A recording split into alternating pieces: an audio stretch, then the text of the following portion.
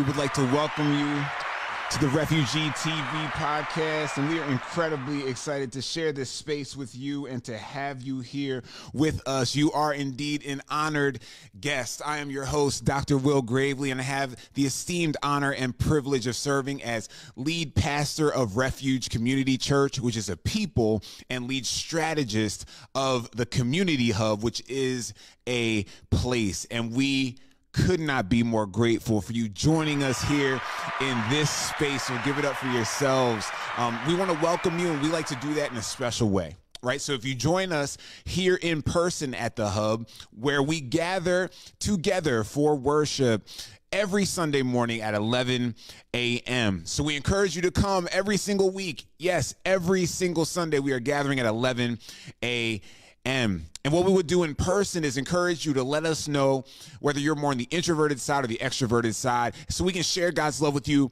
appropriately. We understand that we're not all wired the same when it comes to experiencing love, affection, and attention. And so, what we like to do is to equip ourselves with a means of communication so that we don't end up loving people the wrong way, right? And so, what we need to do then is to equip you. So, if you're more on the extroverted side, we consider you a two.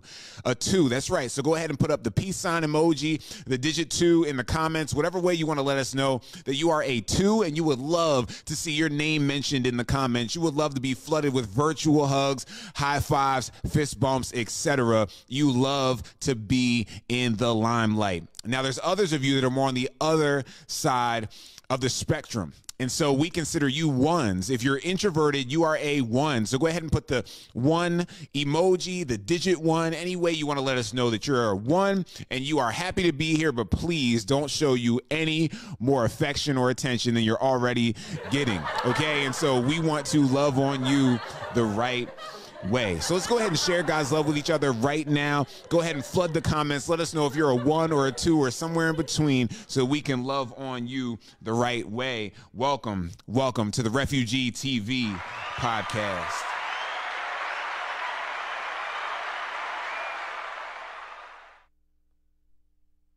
And so now at this time, we would love to move forward with our gatherings together. And we want to let you know again that we are back to in person gatherings. And so every Sunday we are gathering at the hub and we're experiencing the power of God. So we have this podcast format for our online guests. But when we're in person, we're experiencing the power of God. There's prophetic prayer. We have testimonies of healing.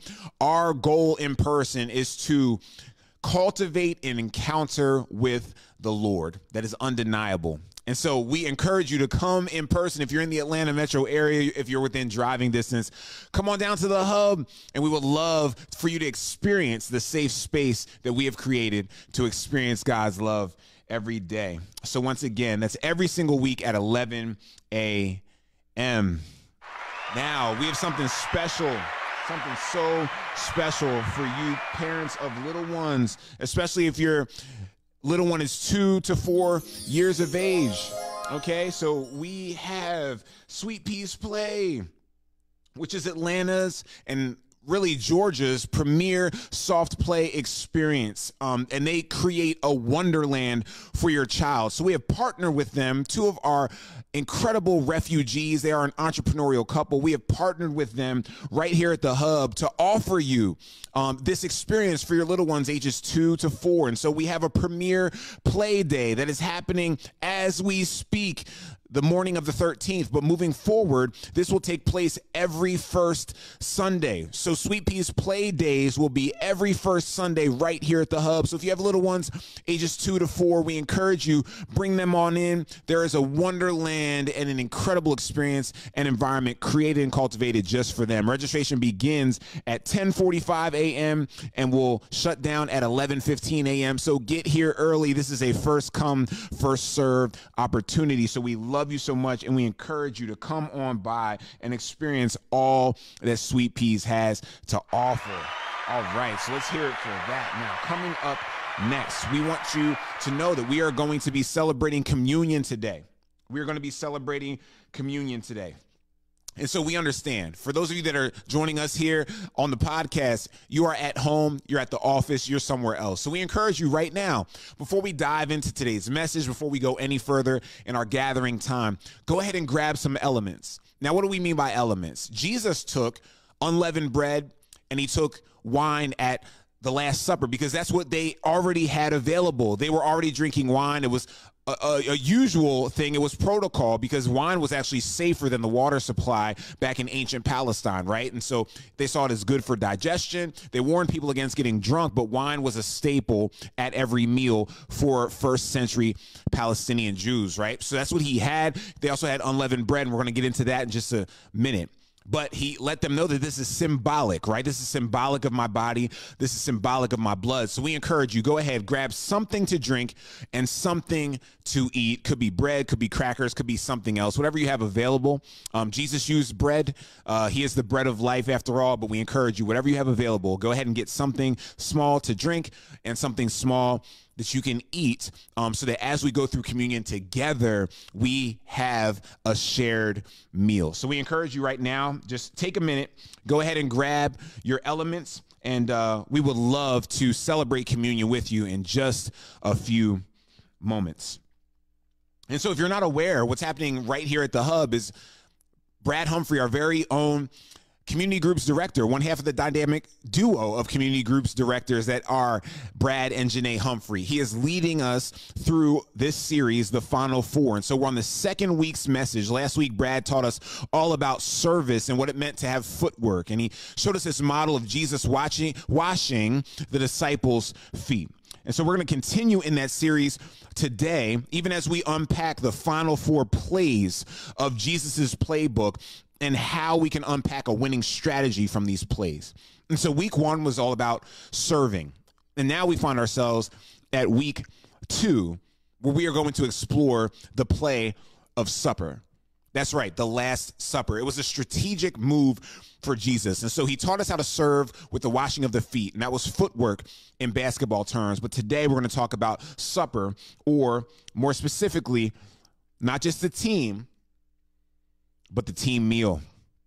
All right, so this is play number two, and we would love at this time to jump right on in. Let's jump right on in to play number two, the team dinner. How sharing a meal led to sharing a victory. So before we go any further, let's pray. Lord, thank you so much for this opportunity to be together. Thank you for this shared space, this online environment of Refugee TV. And even as we add more components, more shows, more episodes, we thank you for this time around your word. And so I just pray, Lord God, against any distraction, anything that we might have carried with us into this shared moment, this holy moment, this sacred space. May you help us to focus on you, that which matters most, and may we be transformed forever. So, Lord God, my prayer is that you would speak through me and speak to me as we share this message together as your people. May we all hear and may we all be transformed. It is our prayer in Jesus' name. Amen. All right, let's give it up. Now, without any further ado, let's dive in to today's episode, episode five. And we're exploring play number two of the final four team dinner. How sharing a meal led to sharing a victory. We're going to be looking at Luke chapter 22, verses 7 through 24. Luke 22, 7 through 24. I'll be reading from the ESV.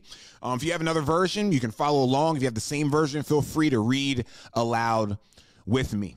so we're going to be jumping into Luke 22, 7 through 24, and it says this Then came the day of unleavened bread on which the Passover lamb had to be sacrificed. So Jesus sent Peter and John, saying, Go and prepare the Passover for us, his disciples, that we may eat it. They said to him, Where will you have us prepare it? And he, Jesus, said to them, Behold, when you have entered the city, a man carrying a jar of water will meet you. Follow him into the house that he enters, and tell the master of the house, the teacher says to you, Where is the guest room where I may eat the Passover with my disciples? And he will show you a large upper room, furnished. Prepare it there. And they went and found it just as he had told them, and they prepared the Passover. 14. And when the hour came, he reclined at table, and the apostles with him. And he said to them, I have earnestly desired to eat this Passover with you before I suffer. For I tell you, I will not eat it until it is fulfilled in the kingdom of God. And he took a cup. And when he had given thanks, he said, Take this and divide it among yourselves. Pour a little bit for everybody. For I tell you that from now on, I will not drink of the fruit of the vine until the kingdom of God comes. And he took bread. And when he had given thanks, he broke it and gave it to them, saying, This is my body, which is given for you. Do this in remembrance of me. And likewise, the cup after they had eaten, saying, This cup that is poured out for you is the new covenant in my blood. But behold, the hand of him who betrays me is with me on the table. Yikes. For the Son of Man goes as it has been determined, but woe to that man by whom he is betrayed. And they began to question one another which of them it could be who was going to do this. A dispute also arose among them as to which of them was to be regarded as the greatest.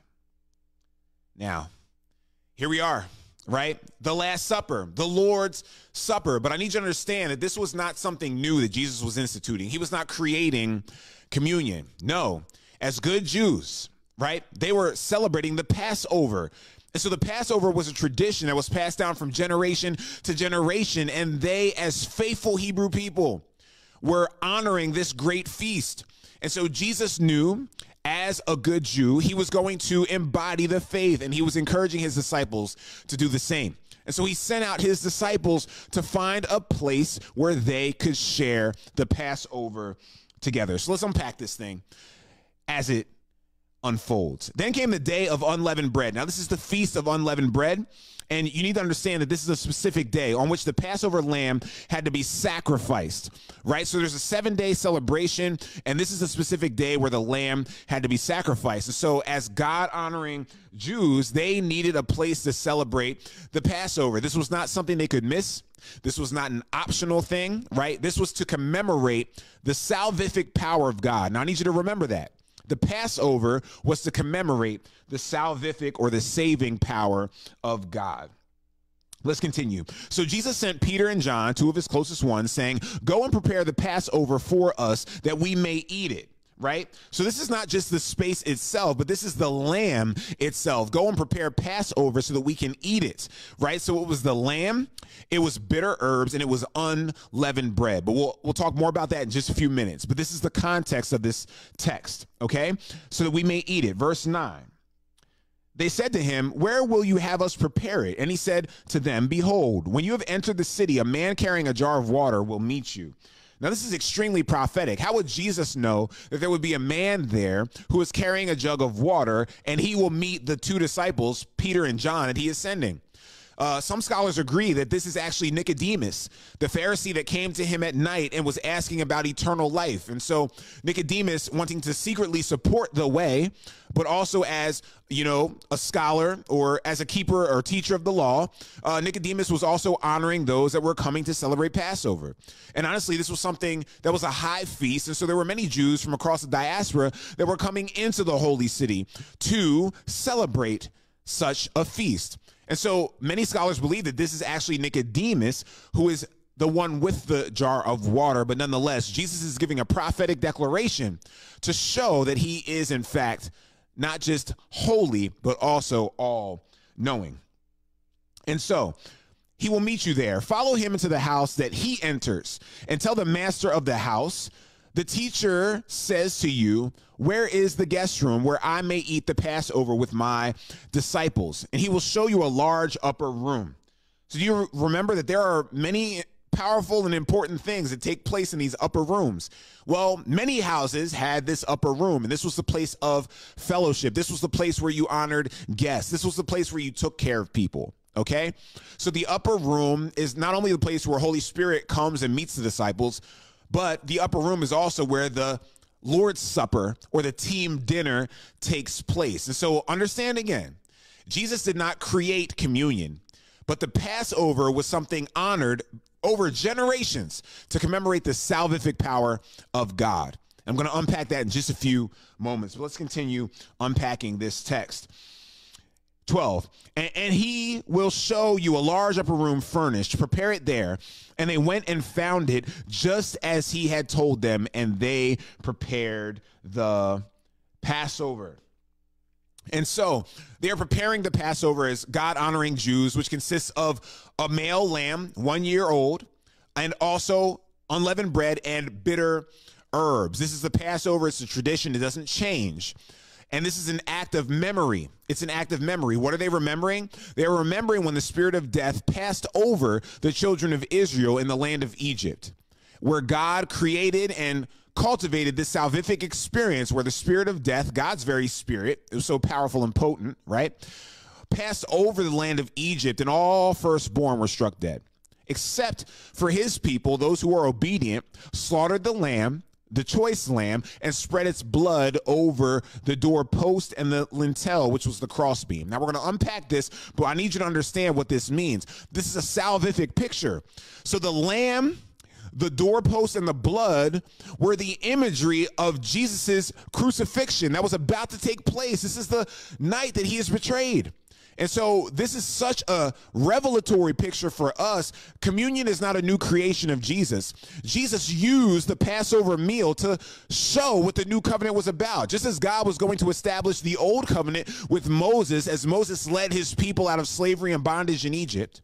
Jesus is the embodiment of the new covenant, but here's the parallel of the lamb that was slain to overcome death. Now, this is going to be a powerful picture, and we're going to unpack this together. But I need you to understand Jesus did not create communion, He used communion to commemorate the new covenant.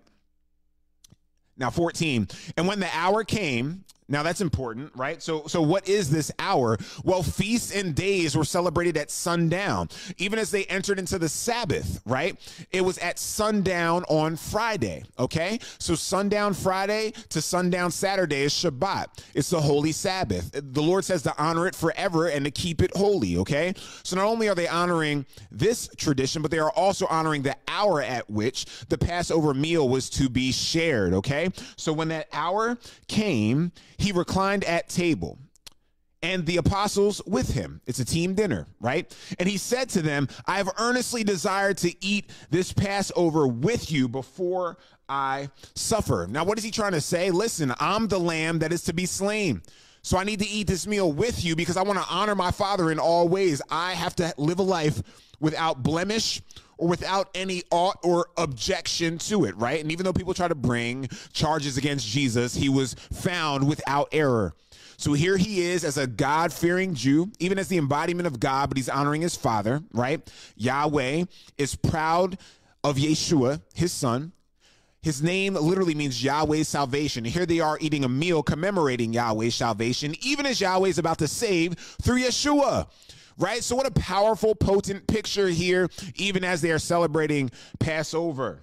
Passover. Let's give it up for the Lord and just his depth of teaching, even if he embodies the very metaphor of his lesson.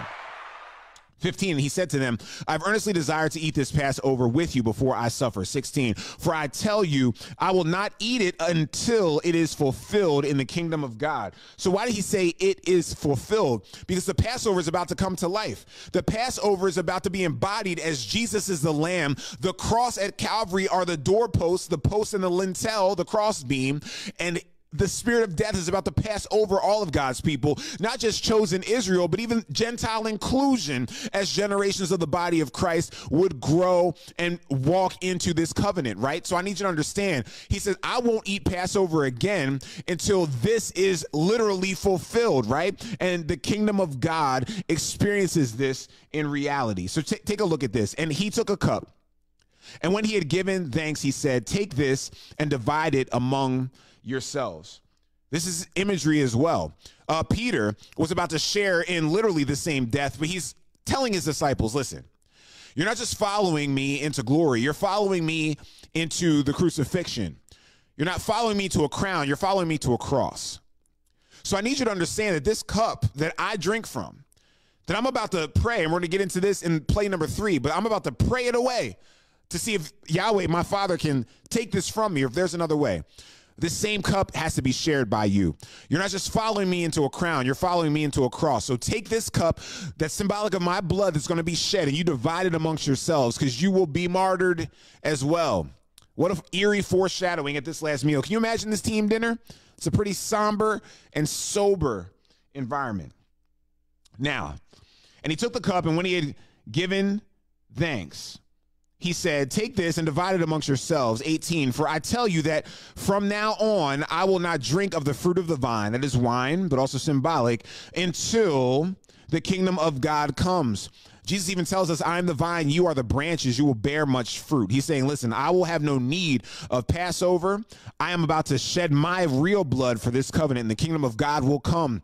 In all of its glory, I will be resurrected, right? So here he is at verse 19. And he took bread. And when he had given thanks, he broke it and gave it to them, saying, This is my body, which is given for you. Do this in remembrance of me. Now, why is he talking about remembrance? Because the Passover is a meal of remembrance.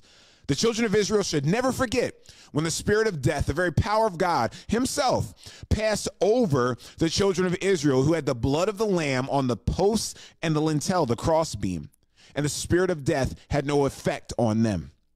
Now, think about this. They had to acknowledge this sacrifice and act out this sacrifice perfectly. And then the spirit of death would pass over them. This is Jesus' life. Jesus is the Lamb. And so he says, as often as you do this, do this in remembrance of me. So he is bringing in this Lord's Supper along with the historic memory, this act of the Passover to remember the salvific power of God. Brilliant. Brilliant. And so he's saying, as often as you do this, even as you honor the Passover, but even as you're about to uh, uh, understand what my passing actually means, I need you to do this in my memory. You are accustomed to doing the Passover in my memory. Now take this cup and this bread, and as often as you eat it, do so in my memory. What a powerful, powerful picture. And so in 20, and likewise the cup after he had eaten, saying, This cup that is poured out for you is the new covenant in my blood. Yes, even as the blood of the lamb saves, the blood of the true lamb, that's myself, saves. Jesus is saying, But behold, the hand of him who betrays me is with me on the table. Can you imagine a team meal where the one who's going to seemingly ruin it all, the one who seemingly is going to rob you of the championship, is eating and sharing the meal with you? Now, here's what's powerful about that. We often see that as like Jesus' almost petty way or passive aggressive way of identifying Judas as the betrayer. But the way I see it, in addition to that, right, because that is accurate, is that Jesus is allowing Judas to partake in the new covenant. So, what's the power in this? Knowing that the one who's going to betray him is participating in the team meal? It's to know that it is not God who robs us of the new covenant, it is ourselves who opts out. Judas could have been a part of the championship, but he quit the team. Judas could have been part of all of the glory that was coming, but he quit the team. Judas could have been saved and redeemed. Arguably, Peter's sin is worse. Peter was an apostate. He denied Jesus and in doing so the faith, the way. But he was restored to his post. And on that same revelation, the Lord established his church. Judas could have been restored. And let me tell you, it's never too late to repent. It's never too late to come back to the position that the Lord has placed you in. But you also got to realize that certain people in your life got to play a role. So you need to understand that Jesus was okay with this. But he didn't rob him of the new covenant. Judas robbed himself. Judas robbed himself. Now, Let's, let's wrap up wrap up this piece, then we'll go to the historical context. Uh, but behold, the hand of him who betrays me is with me on the table, and the Son of Man goes as it has been determined. But woe to that man by whom he is betrayed. And he said this with some gusto. But they began to question one another which of them it could be who was going to do this. Now, here's what's weird about this argument, right? What's super weird about this argument? Um, Jesus is telling them, listen, like somebody over here is going to betray me. Like somebody over here is going to sell me out. Uh, but here's the problem. I'm telling you guys this, and you guys start to argue over who it is, but then somehow the argument goes from who's going to betray him to who's going to be the greatest. See how self centered we can be? No, who's going to be next to you? Who's going to have a position of privilege? Who's going to be, you know, the man next to you? Jesus said, listen, one of y'all is going to betray me. And they began arguing about that, but then they stumbled their way into who's the greatest among them. You see how prideful we are? So check this out. It goes from arguing about who was going to do this to 24. A dispute arose among them as to which of them was going to be regarded as the greatest. And then Jesus breaks down to them listen, it's not for me to give to any of you who's going to sit at my right or my left, but the greatest among you needs to be the servant of all.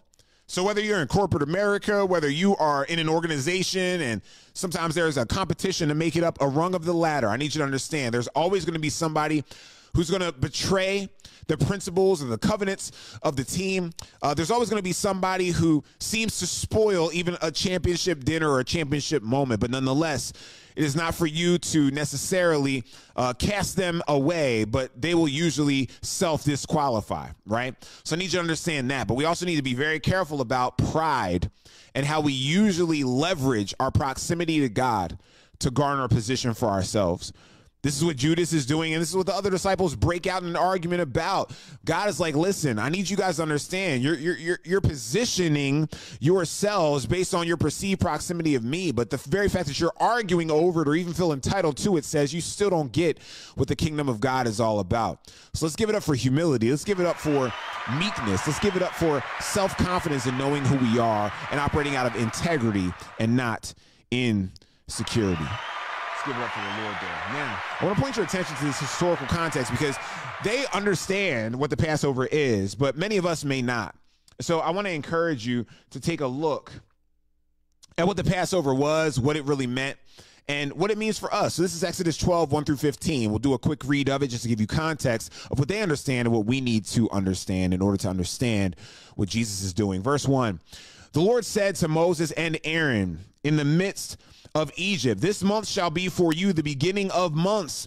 So Passover is so important, so critical that this is the beginning of measured time for the people of the book. And of course, Hebrews or Jews, as they're understood now, are keepers of the book, but they're also on a lunar calendar. We operate on a solar calendar instituted by Constantine, but this is a lunar calendar, right? So this is the first month this month of Passover. It shall be the first month of the year for you. Tell all the congregation of Israel that on the 10th day of this month, every man shall take a lamb according to their father's houses, a lamb for a household, one per household. And if the household is too small for a lamb, they don't have enough resources, then he and his nearest neighbor shall take according to the number of persons. According to what each can eat, you shall make your count for the lamb. So, this is so important, so critical that the Lord is making sure everyone can participate. So, if you and your family can afford it, go to your nearest neighbor and you guys shall eat together according to how much you all will consume. That's how important this is. Verse 5 Your lamb shall be without blemish, a male a year old. You may take it from the sheep or from the goats. So understand that what they considered a lamb was either a sheep or the goats, and oftentimes sheep and goats would be together. The only way you could distinguish them was by their behavior. Yes, the sheep and the goats dwelled together, they grazed together, they all often moved together as flocks, but you could tell the difference between a sheep and a goat because one was hard-headed and prideful and stubborn, and the other was meek. The other followed and the other was submitted. All right. God doesn't waste anything. But in this case, you can take it from the sheep or the goats, and you shall keep it until the 14th day of this month. So it's four days later, right? When the whole assembly of the congregation of Israel shall kill their lambs at twilight. See what Jesus meant by the hour had come? So you are to kill your lamb at twilight. Then they shall take some of the blood and put it on the two doorposts, that's the side pieces, and the lintel. So the lintel is the cross beam, and the doorposts are the side pieces. So look at the metaphor here. The post and the lintel is what we can understand as the cross. God doesn't waste anything, anything at all and the lintel of the houses in which they eat it. Verse 8 They shall eat the flesh that night, roasted on the fire with unleavened bread and bitter herbs. So Jesus knew that the Passover included unleavened bread, and that is what he took, which is what we still do to this day. Yes, those are those flat styrofoam loafers you got at that old school Baptist church, or it is the lush flatbread that you have partaken of in different environments. But nonetheless, I need you to understand that this unleavened bread is a part of Passover, and that's what was present for Jesus to institute communion or the common union of the disciples, right? Verse 9 Do not eat any of it raw or boiled in water, but roasted, its head with its legs and its inner parts. So don't fool with it, roast the whole thing.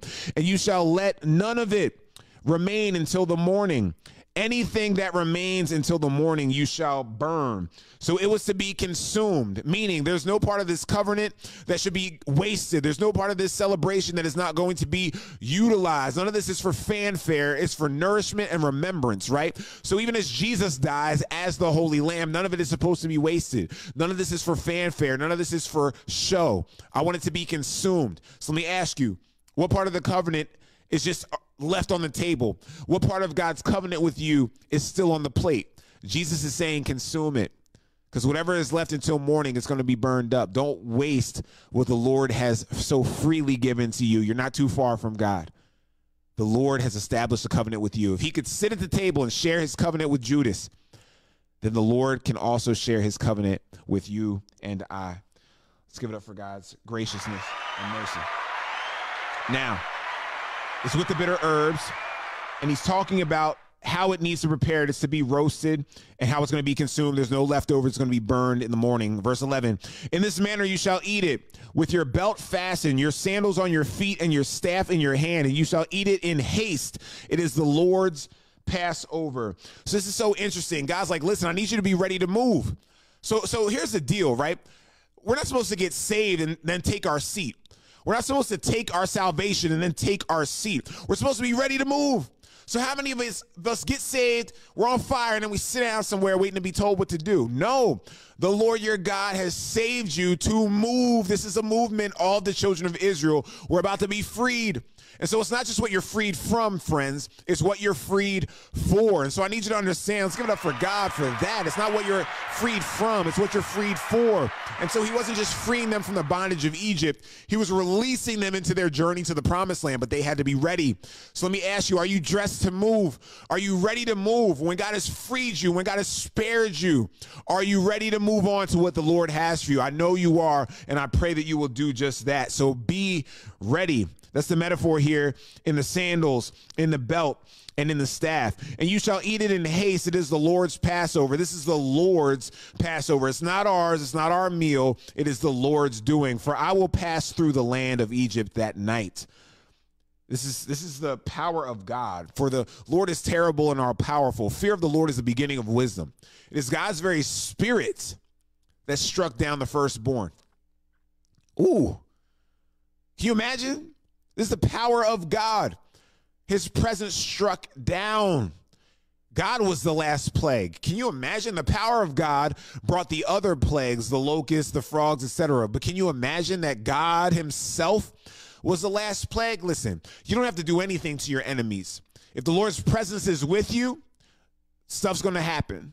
So I just need you to be in position. You slaughter the right lamb without blemish. You spread the blood on the doorpost. Receive the Lord's salvation. You recognize who you are in the Lord and be ready to move when God says so. God will take care of your enemies. So I need you to understand that. The Lord is just and the Lord is also merciful. So don't be mad if he shows your enemies mercy, but the Lord can handle your enemies. This is the Spirit of God Himself that is passing over as the last plague. How powerful is that? And so this is the Lord's Passover, and the Lord is saying, I will pass over the land of Egypt. And then he says, both man and beast will be stricken down. I will strike down the firstborn in the land of Egypt, both man and beast. And on all the gods of Egypt, I will execute judgments. Can you imagine anything that sets itself up as an idol against God? Anything, including us, that wants to be worshiped or adored or be seen in a certain position or we're posturing for certain privilege? The Lord is unmatched. And so the, the Lord will strike down idols. And so he says, listen, I'm not just taking out the, the firstborn, that's both humans and animals. God's not playing. He also says, and I will exact this on all the gods of Egypt. I will execute judgment. I am the Lord. Woo, let's give it up for God. Lord is nothing and no one to be played with. The blood shall be a sign for you on the houses where you are. And when I see the blood, I will pass over you. Say that, type it in. I will pass over you. That's the Passover. I will pass over you. So the Spirit of the Lord, who's bringing death, passed over the children of Israel who had the blood on the posts, right? Do you see the salvific imagery? So here's Jesus saying, I am the Lamb. The cross is the post. My blood is this blood. And the Spirit of God, the judgment on all other gods, the judgment on those born into iniquity it will pass over you in this new covenant. Let's give it up for the Lord. Now, let's wrap this up. This day shall be for you a memorial day. A memorial day. Well, let me let me give you the rest of this promise here in 13. The blood shall be a sign for you on the houses where you are, and when I see the blood, I will pass over you, and no plague will befall you to destroy you when I strike the land of Egypt. So this is the Lord moving over Egypt, but he says no plague will befall you. 14. This day shall be for you a memorial day. Notice Jesus said, Do this in remembrance of me. So the Passover is a memorial, and you shall keep it as a feast to the Lord throughout your generations as a statute forever. Somebody type in forever, as a statute forever. Type in forever. Now, you shall keep it as a feast. Seven days shall you you eat unleavened bread. On the first day, you shall remove leaven out of your houses. Now, what is leaven symbolic of? Pride pride.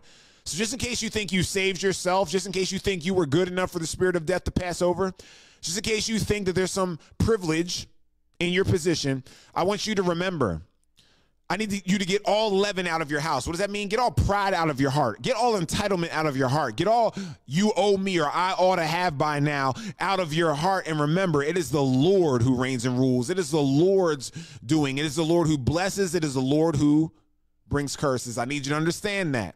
So reverence the Lord and remember who you are. Get all that leaven out of your house. I need you to type that in. Get the leaven out of your house, aka get the pride out of your heart. You give it up for humility. Let's give it up for humility, all right?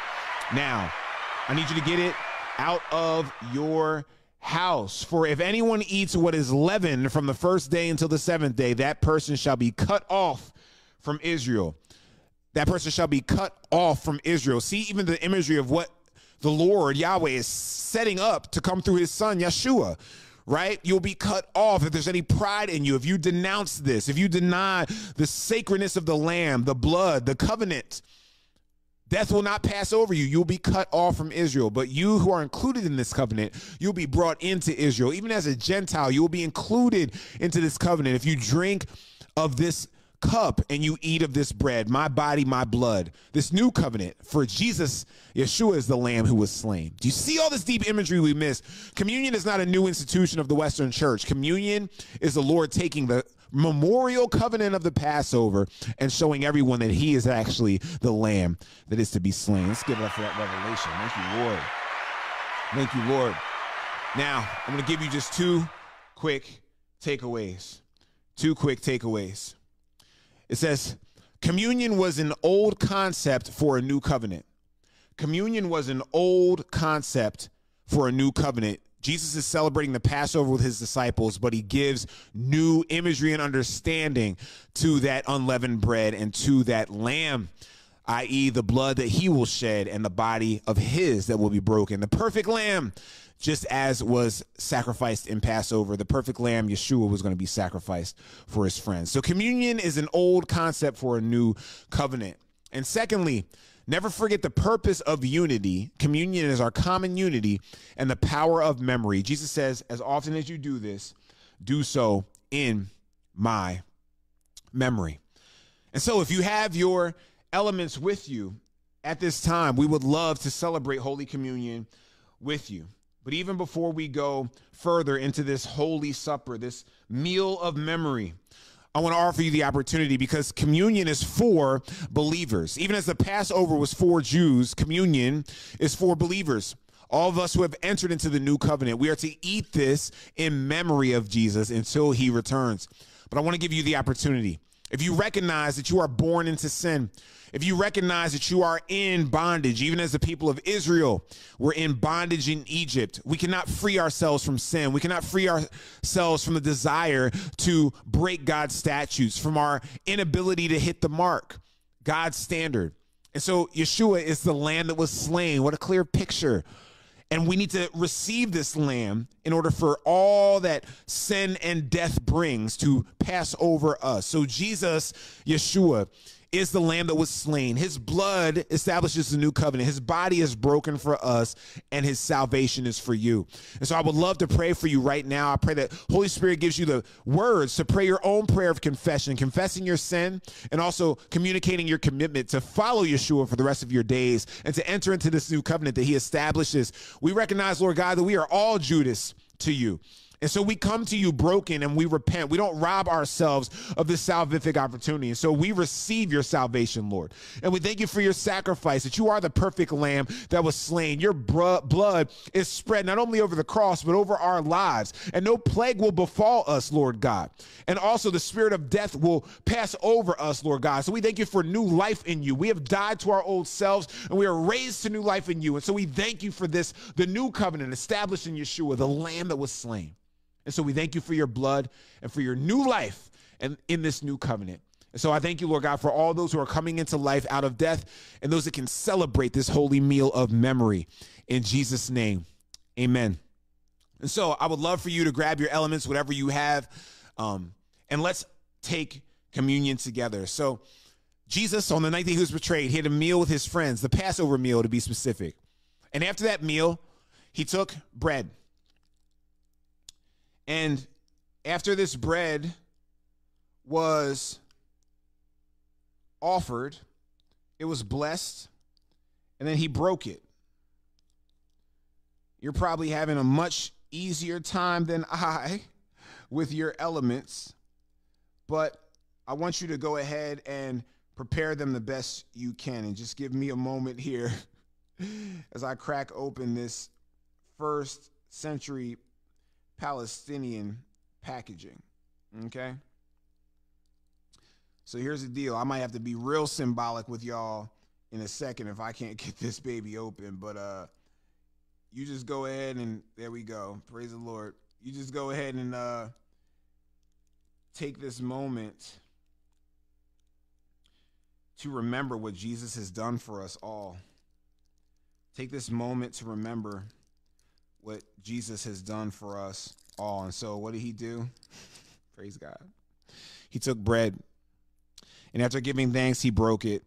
And he said, This is my body, which is willingly broken for you, for the forgiveness of sins. As often as you eat this, just like the Passover, do so in my memory from coming back. Let us take and eat this together.